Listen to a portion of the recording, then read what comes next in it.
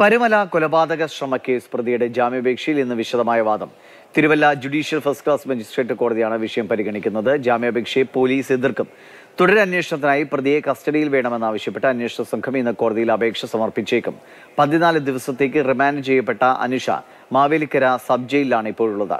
വെള്ളിയാഴ്ച ഉച്ചതിരിഞ്ഞ് മൂന്നിനായിരുന്നു എയർ എംബലിസം അവലംബിച്ചുള്ള കൊലപാതക ശ്രമം.